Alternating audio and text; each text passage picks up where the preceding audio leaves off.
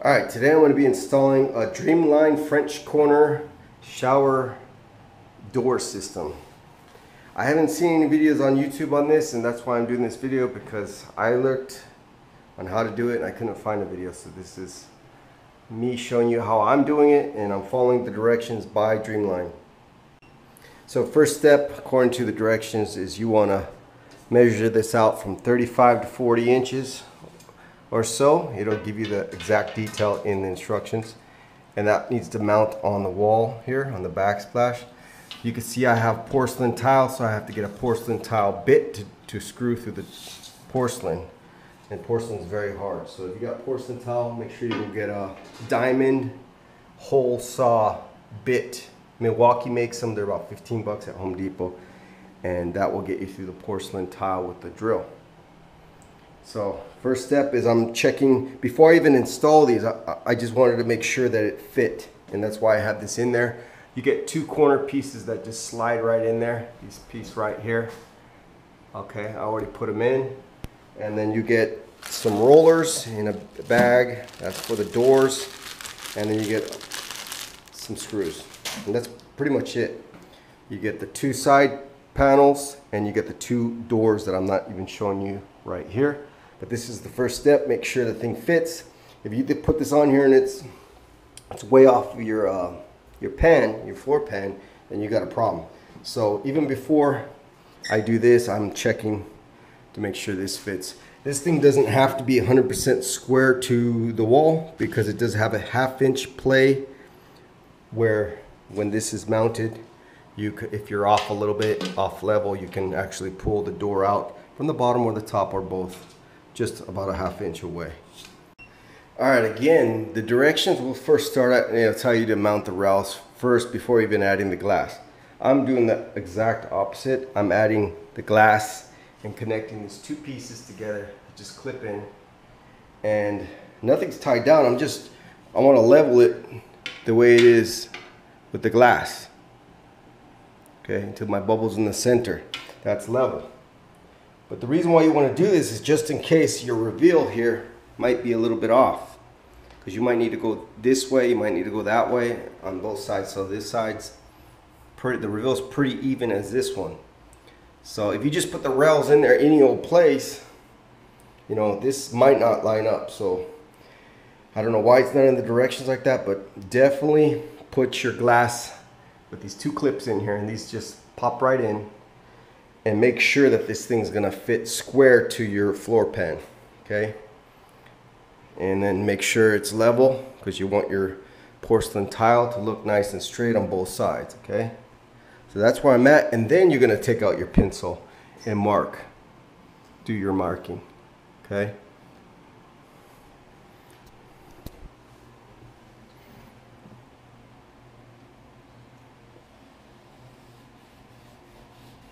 This is just so I know where to put it. Reference mark. Do the same thing over here.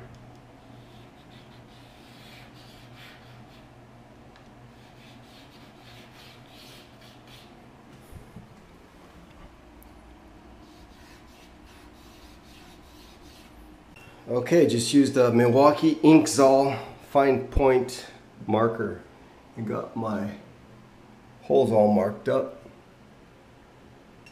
I want to note that they do give you the screws and they will be the longest screws that go into here.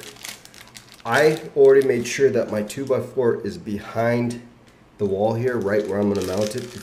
I thought ahead, so I don't need to use these plastic wall anchors. So if you didn't put a stud there, you're going to have to use plastic wall anchors with a 5 16 inch drill bit. All right, if anybody's wondering what it looks like, here's the, the drill bit. And it says right there, porcelain, tile, and stone. This is a diamond, has diamonds in it. I got the 3 16 All right, so I just drilled one hole and you can see I put tape around it just, just in case I make a mistake.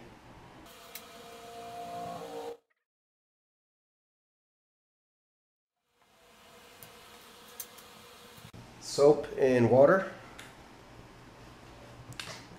on a drill. Okay, you want to start off at a 45 degree angle. So I'm gonna just spray a little bit right there. 45 degree angle, just like this.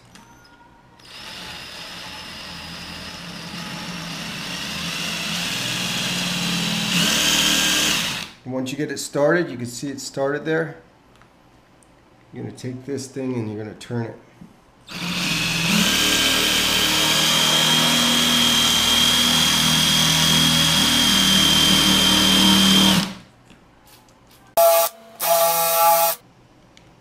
And every so often I like to clean off this this bit at the end with the rag.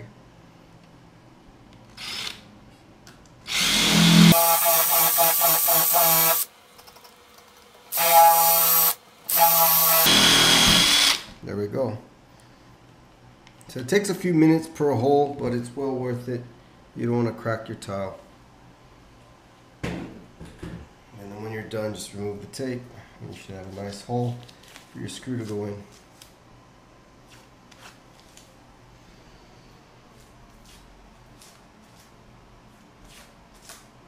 And these take four holes per per side here. So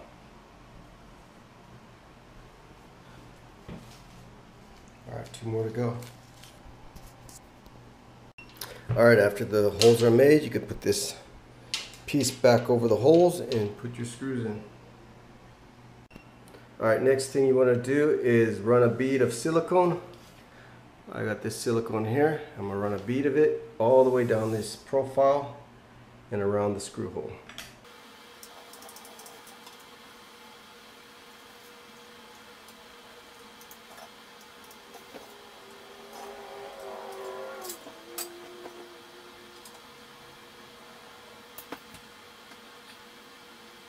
Alright, once you get that on there, get your level out. Make sure this thing's level again. And I'm dead on, so perfect.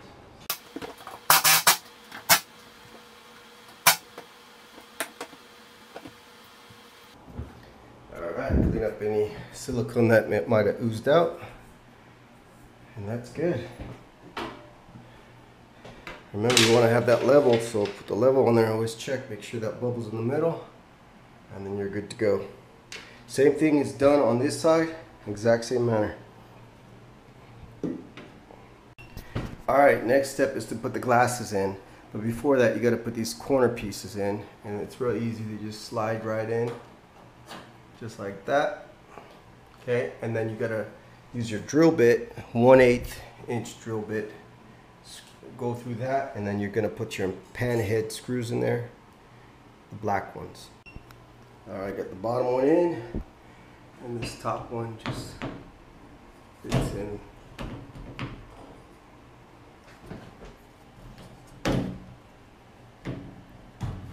Like that. All right, so we're gonna go and look and make sure our reveal is about the same. It's looking good. So I'm gonna go and tighten these down. I, I had them just a little bit loose just to make sure that my uh, my reveal line was about the same.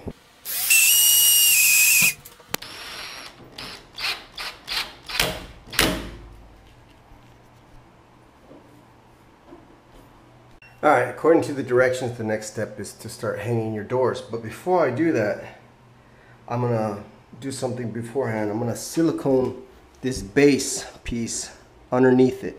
So what I'm to do is I'm to unscrew these two bolts here, one here and one at the top. Take this window back out, these glass panes back out, and then I'm to run a thick bead of silicone.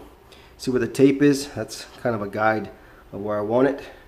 Real thick bead in the middle of this, and then I'm going to bring it back and I'm going to set it right in place on top of it. And that will do a better job at keeping water out and keeping it watertight. All right, ready for my bead. Got the glass out. And I'm just gonna run my bead right down the middle.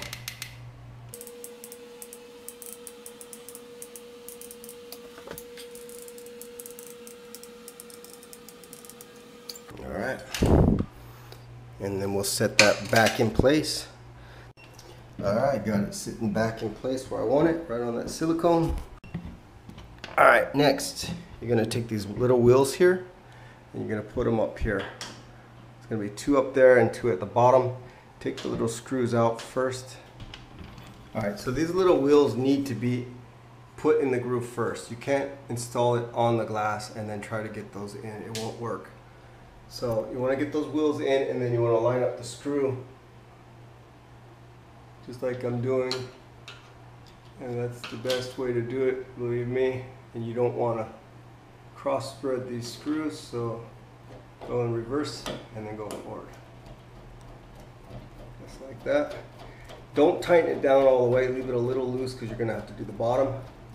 And if you're wondering how I'm holding this up, best way to do it, use your foot. Just let it sit on your foot. And then once you get those too tight, you can take it off your foot and then it'll hang. And then you tighten up those bottom two. Again, if you try to put the wheels on beforehand, I tried it, you can't get it in that groove. Uh, it's just, it seems impossible. So just do it the way it says. All right, one last tip for you guys. Uh, this is on a bearing, so you're screwing into a bearing here. Bearing just turns, it spins, okay? So it's really hard to tighten the bottom ones because it's just spinning the bearing. This whole thing will spin as you try to tighten it down. The secret to tightening it down on the bottom here is just push this in real hard and that will squish this bearing, this metal part of the bearing and not allow it to spin. And then you get a screwdriver and tighten it up while you're pushing down on here. It's the only way I could do it but it works real easy once you do it like that. All right, last step is to drill your 1 8 inch drill bit here, about half inch away from the wall. And you can do that pretty much wherever. You do one on the top, one on the bottom, and one on that side, two on that side. All right, so the screw goes in there like that with the cap, just like that.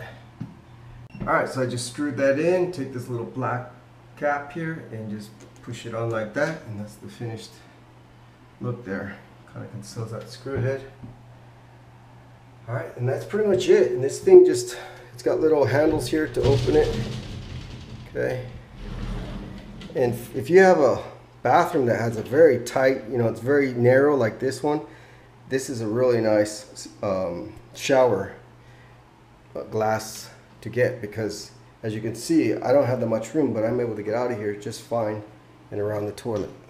Okay. It used to have a caddy corner shower, real small one, and it's just too tight to, to, to shower in those type of showers. You're, you're in there real cramped, and this just gives you a, you know, a lot more room. So, highly recommend this uh, this uh, shower glass system.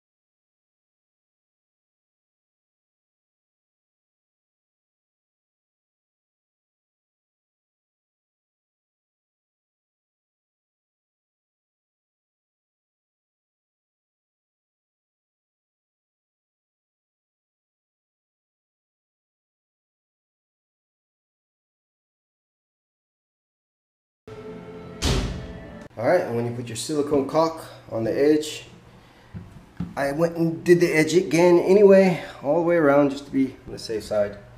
You could even go up here, but I think I'm gonna leave mine because I'm gonna wait until I get some clear and put some clear silicone here. The one I got is white. I don't want white on the black. And anyways, I got silicone under this. It shouldn't, if the water does get under there, it's not gonna go very far. But that's it. When, once you got the silicone down, you're done. And wait 24 hours for it to dry, and then you can start taking a shower.